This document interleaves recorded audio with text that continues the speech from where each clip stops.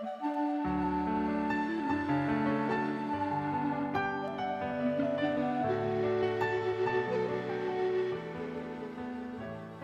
the sunlight has gone and the green hills turn grey and the day turns to evening somehow,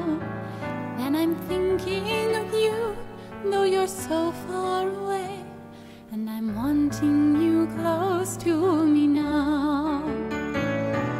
chocolate chip cookies so high on the shelf,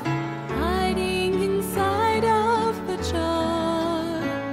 I'm not tall enough to reach you myself, so